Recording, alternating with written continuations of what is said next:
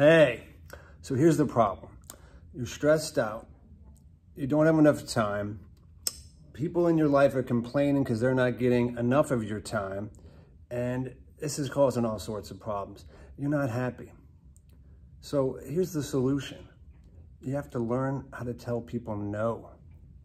And when you start to define your life and your parameters and what you're willing to say no to, and you're clear about that, sometimes it's going to cost you money. Sometimes it's going to cost you relationships.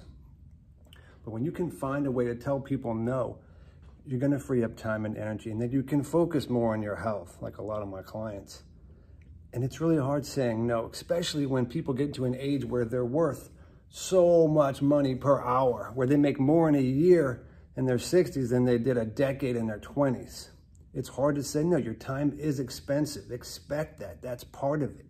But at the end of the day, saying no and freeing up time is what's healthiest. And here's the surprising part.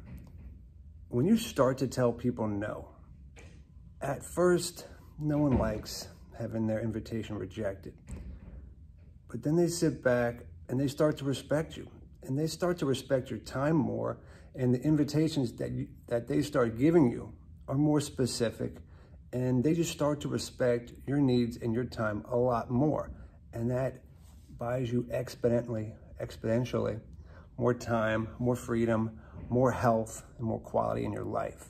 So if you're stressed out, if you're short on time, if things aren't working out, what do you have to say no to and stretch your thinking? It might take even more than you expect.